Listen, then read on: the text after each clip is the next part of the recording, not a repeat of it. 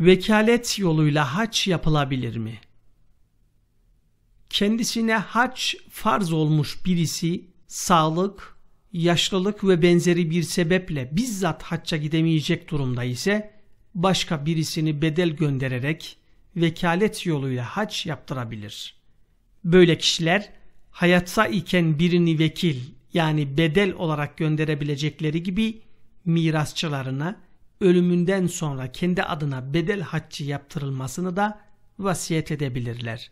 Zira Hz. Peygamber sallallahu aleyhi ve sellem ölen yakınları veya yaşlı büyükleri yerine haç yapıp yapamayacaklarını soran kişilere söz konusu yakınları için haç yapabileceklerini belirtmiştir.